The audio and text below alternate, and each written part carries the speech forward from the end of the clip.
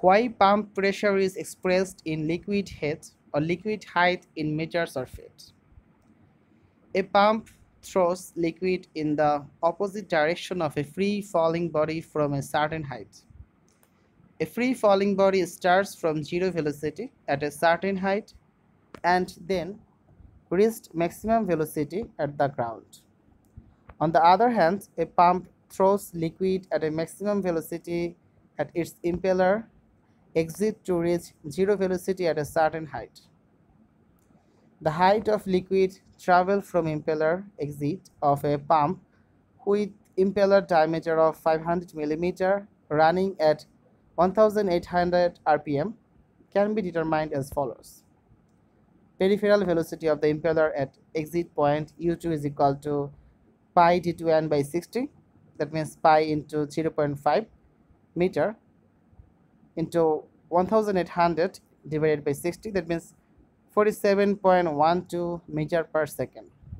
So at this velocity the liquid will be thrown by the impeller at the impeller exit. Therefore the height of liquid travel is given by 0 is equal to u2 square minus 2gs that means h is equal to u2 square by 2g that means h is equal to 130 meter. So the height is 130 meter.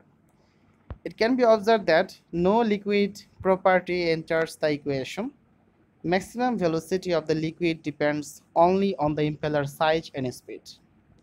Thus, a pump always produces the same head, regardless of the type of liquid being pumped. However, pressure will increase or decrease in direct proportion to a liquid's specific gravity. That means P is equal to rho gs and power input to the pump will also vary directly with liquid's specific gravity. Thus, a centrifugal pump can develop the same 100 meter of head when pumping water, brine or kerosene. The resulting pressures, however, will vary. Therefore, the pump pressures are expressed in liquid height in meters or feet liquid head.